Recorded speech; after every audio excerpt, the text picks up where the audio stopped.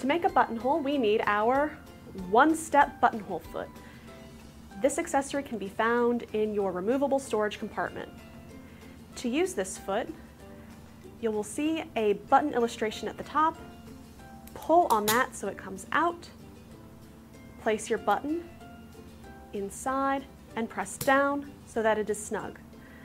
This means that the machine will make a buttonhole perfectly sized for your button. I need to mark where I'm going to sew the buttonhole on my fabric. So I'm going to place the button on my fabric where I want the buttonhole to be. I need to mark the bottom of the buttonhole, which is where it will start sewing. Then I will use my ruler to make a line in the middle. This is just to help me keep my fabric straight when I put it under the buttonhole foot.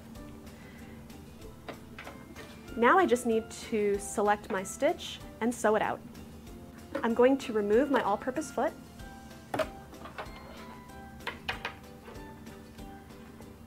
and snap on my one-step buttonhole foot.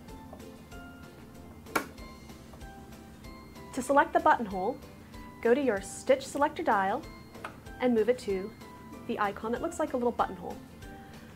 Go up to your stitch length dial and move it to this little buttonhole icon. So it will stitch out my buttonhole. Then come up to the stitch width dial and move it to the number six. Now we have one last thing to do before we actually start stitching. The last thing we need to do before we stitch out our buttonhole is lower the buttonhole lever located to the left of your presser foot and push it back. Now we're ready to start sewing. I'm going to place my fabric next to my presser foot and line up the bottom line so that it will be under this hole.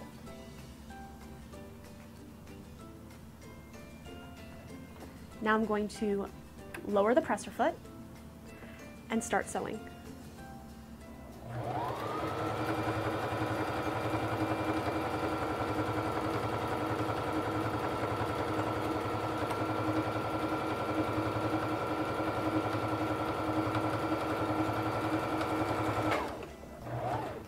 When you've reached the bottom bar tack, turn the hand wheel towards you so that the needle is in the highest position.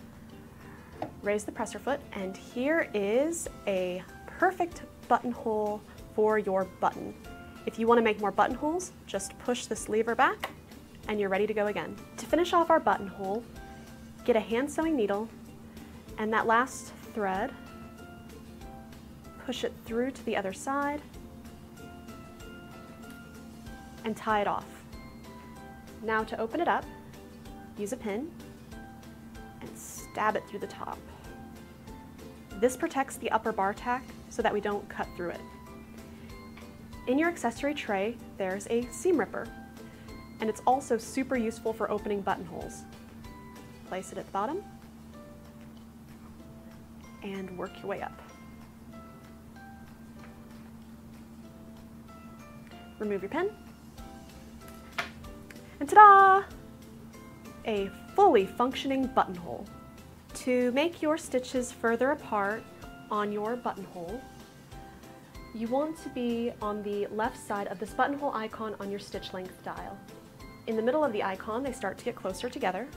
And when you are on the right of that buttonhole icon on your stitch length dial, your stitches are very close together.